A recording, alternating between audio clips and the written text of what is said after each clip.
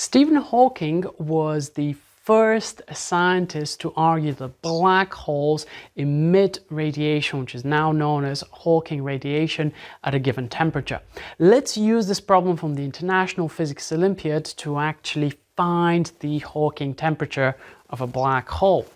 Now this is actually part 3.1 out of a problem uh, from the 2007 International Physics Olympiad. Check out some links in the description for the other parts of the problem.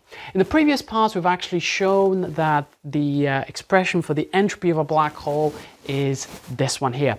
Now what I'm going to do is I'm going to use the first principle of thermodynamics together with the definition of entropy and of course E is equal to mc squared to actually find the Hawking radiation. So let's get started. First off, we know that d is equal to dq plus dw.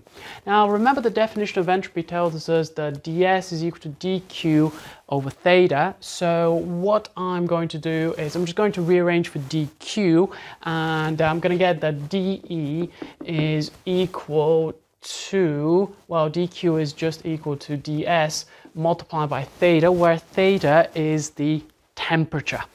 Okay, well, let's assume that dW is equal to zero. There's no work done in this case, an isolated black hole in the middle of space, which is a very valid assumption.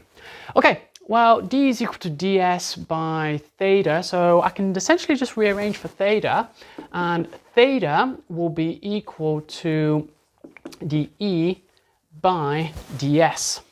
Okay, well, we're almost there. Now, what I'm going to do is I'm just going to flip this expression I want you to consider just the inverse of this expression. So let's say that this expression here is equal to ds by dE raised to the power of minus 1. Now, why am I doing this? I'm going to use a mathematical trick uh, which will allow me to differentiate the entropy because we already have an expression for the entropy of a black hole. Okay, well, now let's use one of my favorite equations in physics, and that is that E is equal to mc squared.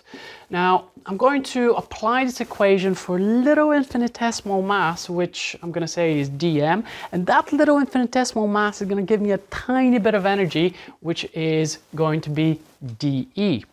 Okay, well, now what we can do is we can apply this into here for our expression for the Hawking temperature.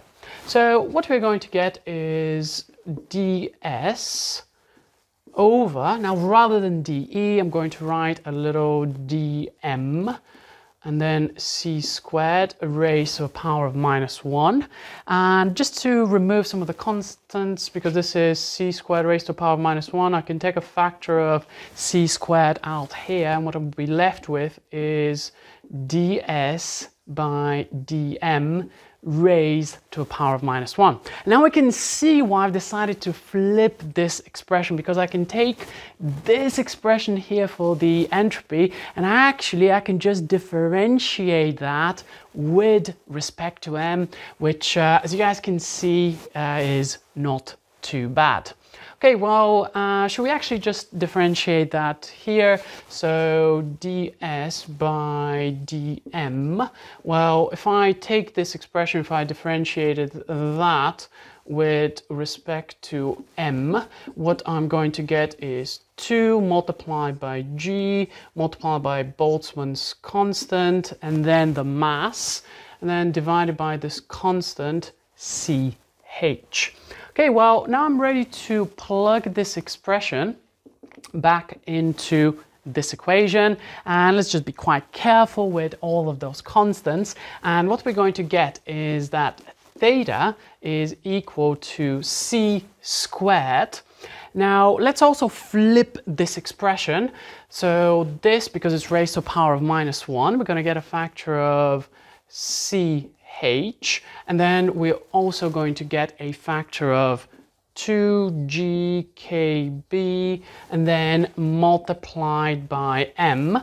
And we essentially now have an expression for the Hawking uh, temperature of a black hole. How amazing is that?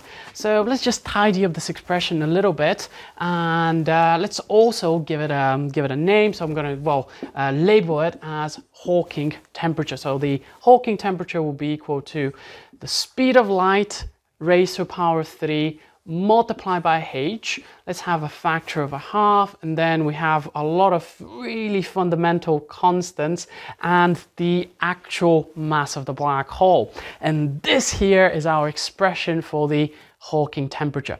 Now let's have some fun with this equation. Let's plug in some values and actually calculate the Hawking temperature of a black hole of an average size, let's say about five solar masses. So just plugging in some numbers, we're going to get the speed of light raised to the power of three. So let's just assume that the speed of light is three times 10 to the power of 8. Then we're going to cube that. We're going to multiply by h, which is Planck's constant, which is 6.63 multiplied by 10 to the power of minus 34. Then we have a factor of 2, very important, multiplied by g, which is the gravitational constant, so that's 6.67 times 10 to the power of minus 11. Then we have Boltzmann's constant, which is 1.38 multiplied by 10 to the power of minus 23, if memory serves me right.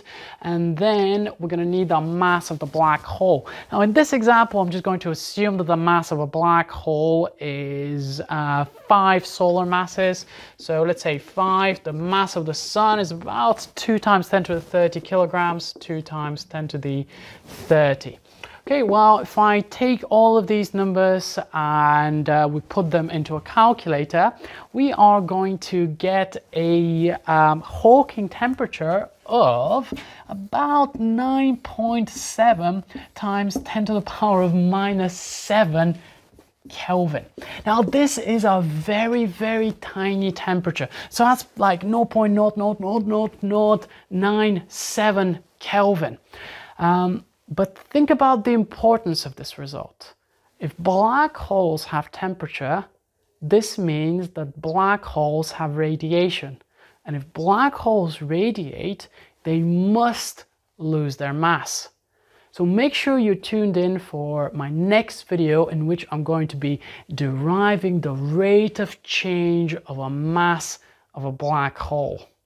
I'll see you guys in the next video.